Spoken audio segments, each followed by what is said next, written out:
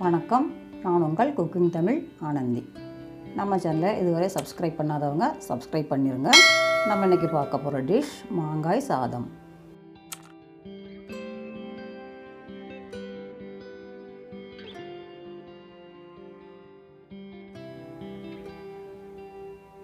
தேவையான பொருட்கள் மாங்காய் ஒரு கப் இஞ்சி பூண்டு மிளகாய் மிளகாய் வற்றல். முந்திரி பருப்பு கருவேப்பிலை பெருங்காயம் வெந்தயம் கடுகுளுந்தம் பருப்பு. வாங்க எப்படி செய்கிறதுன்னு பார்க்கலாம். நான் ஒரு மிக்ஸி ஜாரில் கட் பண்ணி வச்ச மாங்காய் ஒரு மிளகாய் இஞ்சி பூண்டு போட்டு அரைச்சிக்கிறேன். இந்த பதத்துக்கு அரைச்சிக்கிறேன். ஒரு வடகட்டியை சூடு பண்ணிவிட்டு அஞ்சு ஸ்பூன் எண்ணெயை விட்டு நல்லெண்ணெய் செக்கில் ஆட்டின நல்லெண்ணெய்.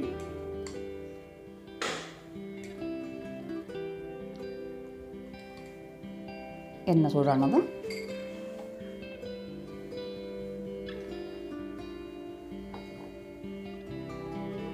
கடு உளுந்த பருப்பு சேர்த்துக்கிறேன்.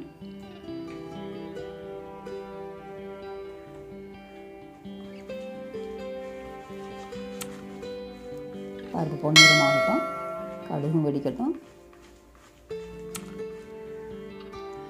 இப்போது கொஞ்சம் முந்திரி பருப்பையும் சேர்த்துக்கிறேன்.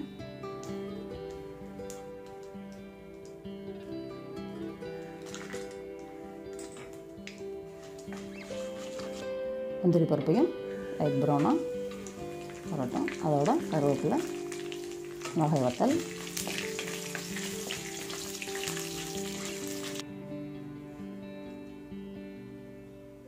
பொடிச்சு வச்ச வெந்தயம் பெருங்காய பொடி அரைச்ச மாங்காய் இது சேர்த்து கிளறி விட்டுக்கிறேன்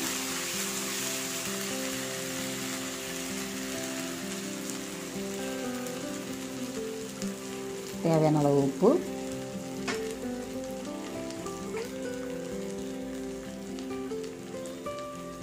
மஞ்சள் தூள் கால் டீஸ்பூன்.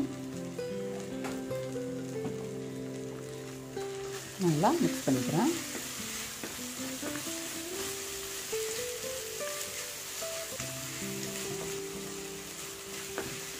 நான் கொஞ்சம் வேக விட்டுக்கிறேன்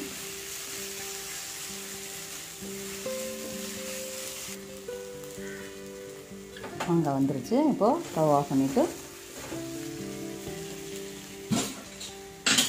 ஒரு கப் சாதத்தை அதோடு சேர்த்து நல்லா கிளறி விட்டுக்கிறேன்.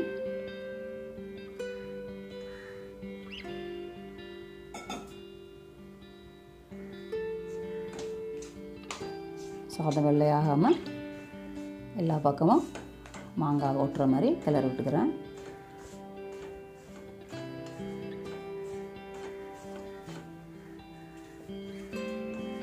சூடான சுவையான மாங்காய் சாதம் தயாராகிருச்சு.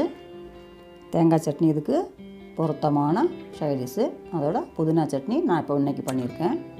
நீங்கள் வீட்டில் செஞ்சு பார்த்து சாப்பிட்டு பார்த்துட்டு கமெண்ட் பண்ணுங்கள் நம்ம சேனல் பிடிச்சிருந்தா லைக் பண்ணுங்கள் ஃப்ரெண்ட்ஸுங்களுக்கு ஷேர் பண்ணுங்கள் மறக்காமல் சப்ஸ்கிரைப் பண்ணுங்கள் பெல் ஐக்கானை கிளிக் பண்ணிடுங்க அப்போ தான் நம்ம போடுற டிஷ்ஷஸ் எல்லாம் உடனுக்குடனே உங்களுக்கு கிடைக்கும்.